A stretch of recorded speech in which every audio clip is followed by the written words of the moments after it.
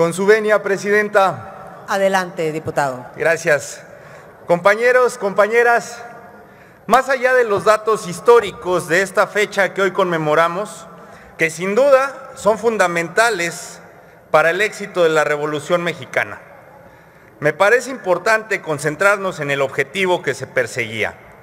Militares y sociedad luchaban para impedir que una persona se perpetuara en el poder. En la mente de mexicanas y mexicanos vivía el espíritu de lucha para combatir a quienes pensaban que podían utilizar las instituciones para fines personales, específicamente para enaltecer a una persona, a alguien que se creía todopoderoso, a alguien que pensaba que el poder le pertenecía, a alguien que pensaba que su voz era la única correcta. Y pues miren nada más las cosas, los mexicanos siempre tienen los guantes bien puestos.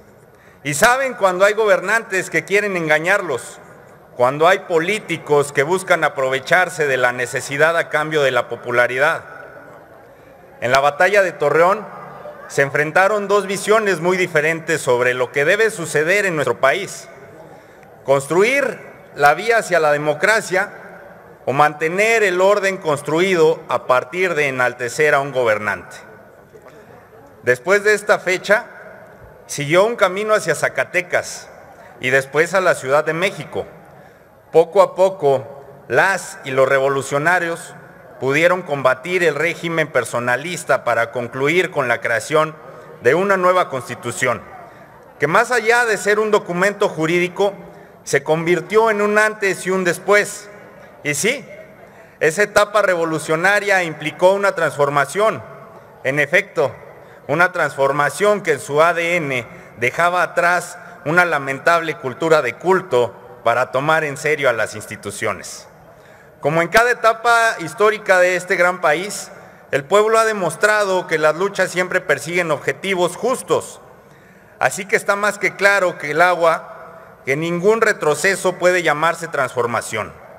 La batalla de Torreón, así como la propia revolución, buscaban ir para adelante, no para atrás. Buscaban cambiar el autoritarismo personalista por una democracia institucional.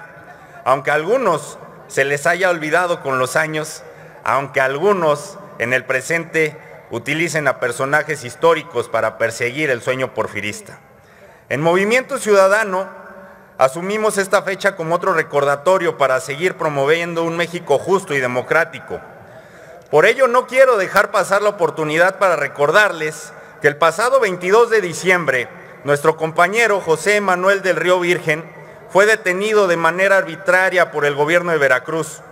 En su momento denunciamos el atropello institucional y exigimos más de una vez la liberación siendo ignorados incontables, incontables veces por dicha autoridad.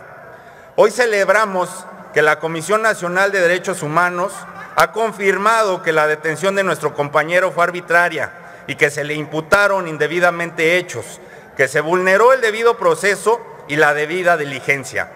Por ello, aprovecho este momento en tribuna para exigir nuevamente a la Fiscalía aclarar la situación y liberarlo inmediatamente denunciando nuevamente la persecución política que se lleva a cabo desde Veracruz. No podemos ser un país demócrata y de paz, concluyo diputada, sin antes no tenemos un país que tenga justicia.